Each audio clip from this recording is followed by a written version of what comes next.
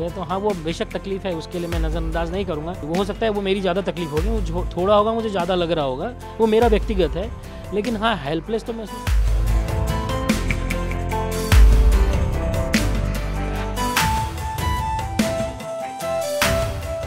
जानता हूँ सवाल है आपका क्यों आया है कि रिलीज़ करने में तकलीफ़ है तो हाँ वो बेशक तकलीफ़ है, उसके लिए मैं नज़रअंदाज नहीं करूँगा। लेकिन वो एक प्रक्रिया है, जो सरकारी प्रक्रिया है। और क्योंकि नागरिक हम इस देश के तो उस प्रक्रिया के थ्रू हमें जाना ही पड़ेगा, हम सबको जाना होता है। जैसे आप मिलिट्री में लेने जाएँगे, एडमिशन तो आपको दौड़ाएँगे, आपका हाइट, चेस्ट मापेंगे। तो फ़िल्म को यहाँ भी मापा जाता है कि दर्शकों तो जाने के पहले जो सरकार की जवाबदारी, वो अपनी जवाबदारी निभाई। और फिर मेरी जवाबदारी उसके बाद रिलीज़ करने की थी, वो हुई है। आमतौर पे आप देखेंगे, लोकल एरिया में जब हम, जहाँ मैं पला बड़ा हुआ मैंने औरतों को सिर्फ़ बार्बर के शॉप में तभी देखा है, जब वो अपने बच्चे का बाल कटाने आते हैं। और वो वहाँ खड़ी होती है पकड़ के उसको कि वो कहीं उस तरह ना चला दे, बाल ज़्यादा वो रगड़ ना दे और वो रोता रहता है बच्चा। माँ के लिए बच्चा मालूम है कि कुछ होने वाला नहीं, वो दिन भर बाल काटते हैं। लेकिन उसको ज़रा सा भी खरोच आता तो माँ को तकलीफ़ होती है। वो हो सकता है वो मेरी ज़्यादा तकलीफ़ होगी, वो थोड़ा होगा, मुझे ज़्यादा लग रहा होगा। वो मेरा व्यक्तिगत है। लेकिन हाँ हेल्पलेस तो महसूस किया है क्योंकि आप बात कर रहे हैं, आप उनसे कह रहे हैं कि, सर, कोई बीच का एक रास्ता चुन सकते हैं जिससे फ़िल्म का एसेंस ना जाए। तो लेकिन वो बीच में एमिकल एमिकेबल सोल्यूशन पे आ गया खींचतान के, लेकिन उसको एक समय लगा। और क्योंकि बहुत सारी चीज़ें होल्ड पर थी, आपका ओवरसीज़ जाना है, आपका बाकी सब डिलीवरी जाना है, अब उसके करेक्शन के बाद भी हमने कम से कम सत्तर अस्सी घंटे रेगुलर काम किया है वीएफएक्स वालों ने करेक्शंस का, फिर डबिंग वालों ने, और फिर सबका अपना अपना एक कमिटमेंट होता है। वो और दूसरी फ़िल्मों पे भी हैं, जो इसके छः, सात दिन बाद फिर रिलीज़ होने वाली है। ये इस महीने में ही रिलीज़ है। क्योंकि हर व्यक्ति जो इस फ़िल्म पर है वो दूसरा कोई ना कोई असाइनमेंट पर है। हमारा साउंड डिज़ाइनर तीन तीन फ़िल्मों के असाइनमेंट पे है जिसकी एक वेब सीरीज़ की रिलीज़ है दो थिएट्रिकल रिलीज़ है। साउंड मिक्सिंग का इंजीनियर नेक्स्ट फ़िल्म पर है। वो दूसरी उसकी फ़िल्में चालू हैं। तो हर आदमी अपने काम पे है। जो वी एफ़ वाले हैं, उनके दो काम ऑलरेडी चल रहे हैं। अब किसी के पास भी एक हज़ार का स्टाफ नहीं होगा कि वो 500 हमेशा स्पेयर में रखता होगा कि चलो आ सेंसर का कुछ करेक्शन आया कर दो। और फिर रिलीज़ का डेट भी है वो आपने अनाउंस कर दी उसके पैसे खर्च होंगे स्टूडियो आपको छोड़ेगा नहीं। इतना सारा दबाव में आदमी जो सोचता है, उसी को लगता है कि भाई अभी कैसे परफॉर्म करेंगे।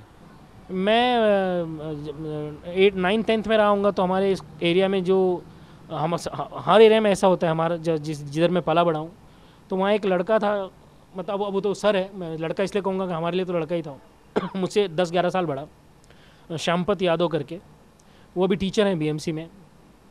उसने रिकॉर्ड ब्रेक किया था उस टाइम टेंथ का, हमारे उल्लासनगर में। वो, उसका परसेंटेज सबसे हाईएस्ट था।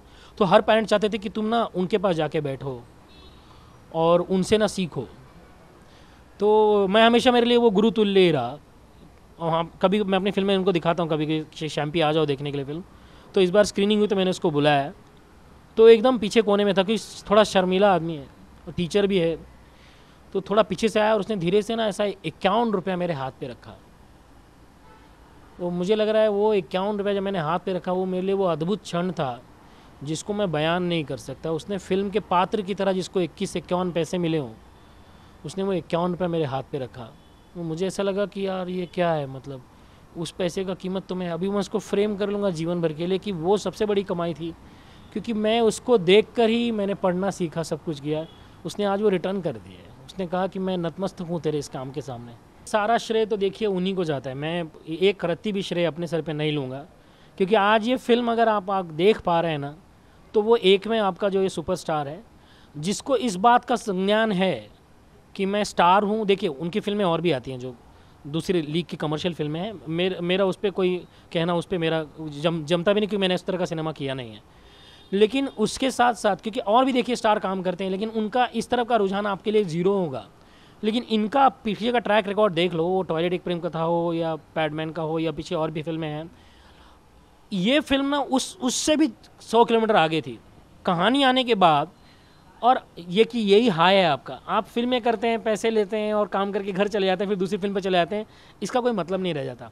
हर फ़िल्म आपको एक हाई देती है कि मैं ये क्यों करूँ फ़िल्म? सवेरे उठ के मैं सेट पे जाऊँ क्यों? जो आदमी काम भी करता है, उसके लिए हाई रहता है कि अभी मेरे को ये कंप्लीट करना है असाइनमेंट अभी नया कोई असाइनमेंट आया है। ये फ़िल्म मैंने देखा कि मेरे अगर अंदर एट्टी परसेंट कुछ उत्सुकता होगी ना तो उसमें आठ हज़ार परसेंट उत्सुकता उनमें थी। एक छोटे बच्चे की तरह अच्छा उनको पूरा स्टार्ट से लेके लास्ट तक का पूरा 98 का 98 सीन याद था इंक्लूडिंग मोन्टाज अक्षय सर ने इसके बहुत पहले ही एक दिन हाँ गले लगा लिया था और मतलब आप बचपन में जिनकी फ़िल्में देख के आप हंस रहे हो, जिसका, जिनकी मिमिक्री आपने की वो कॉलेज में, और वो व्यक्ति अपने घर पे ऐसे अपने कुर्सी से उतर के आता है और उसने गले लगा के बोला कि बहुत अच्छी फ़िल्म बनाई है आपने, सर। बहुत अच्छी फ़िल्म बनाई है। वो मुझे लगता है वो आप करोड़ों और अरबों और खरबों रुपए से भी नहीं पा सकेंगे। वो अनमोल है।